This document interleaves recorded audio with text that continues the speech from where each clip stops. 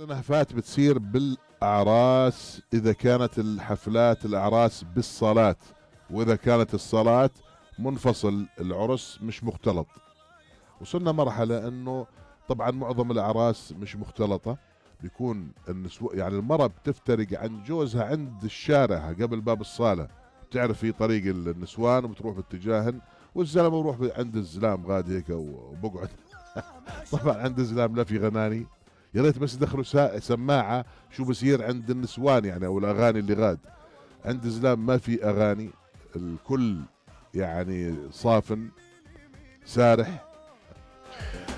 كانت إنه الشوكة بلاستيك ويا حرام المعزومه بده ينحرج إذا ما أكل بقول لك هذا زعلان من العريس يعني ولا من العروس. فبغز الشوكة بالجاتو هاي أو الكيك. المهم تنكسر الشوكة وبتدمر وبنحرج. والكارث هسه بصير عادي تطلع الساعة إنه آه بدي اخلص إنه يعني لأنه الزلام كلهم بيكونوا قاعدين ترى ما حد بيسولف مع الثاني. قليل ما يسولفوا مع بعض بيكونوا صافنين متى هالمرة بدها تخلص من هالقسم النساء بالعرس ونطلع. هسه بزهق الواحد فينا بصير يودي رسالة لمرته مطولة فشو بتو... أول شيء بتردش. منتهيه هناك ما قايم القيامة هناك قايم القيامة عند العروس. بتردش ملتهية أو مش شايفة وحطيته بالشنطة بزهق يا حرام ويودي. بعدين بترد بتقول له تو دخل العريس. اللي بتحب العروس استغرت لها فوق هسه العريس آخر همها إنه يخلص من عند العروس بسرعة ويروح عند الزلام عشان الزلام ينادي مرته ويروح العريس آخر همه الزلام. بطول. نادوني على هيلا والله يا اخوان اني بشوف الفرحة بوجه الزلام لما العريس قال يفوت خلص عند الزلام خلص من عند العروس تعرفوا انبسط خلص صباحك أبو هيثم كيف الحال؟ أبو هيثم أنا يوم عرسي أنا لي سبع سنين متجوز.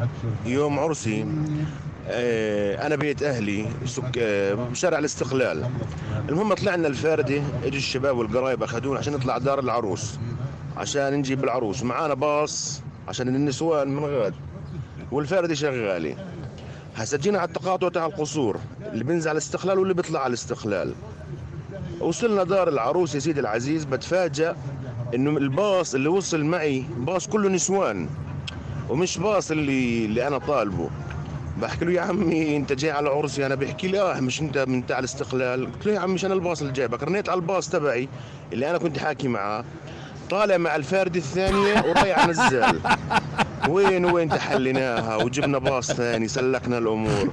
خليها على الله ابو هيثم صار خربطة بالمواصلات اللي بصير النهفات. الباص لحق فاردة ثانية.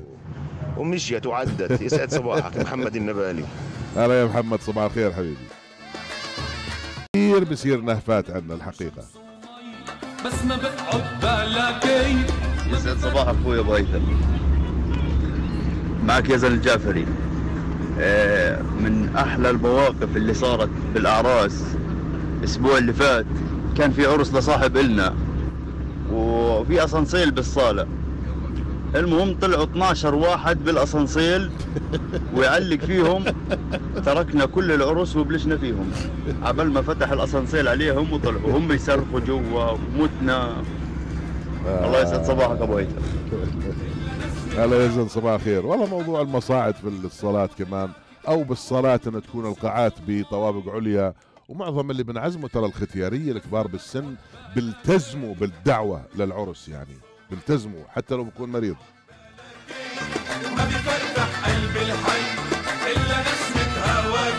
صباح الخير أبو هيثم معك مهند سعود. يعني النهفة اللي صارت معايا لما حملوني ورموني بالهواء وقعت وانكسرت اجري بالصالة يوم عرسي. والله كارثة هاي يعني براءة متبعة ومندمجة مع موضوع العراس زميلتنا براءة الشلالدة بالموقع الوكيل. بعث لعبد الجليل رسالة بتقول في شيء أقوى بالعرس لما المرأة ما ترد على تلفون جوزها ويودي ولد صغير يناديها من عند النسوان وما يرجع يشيل الولد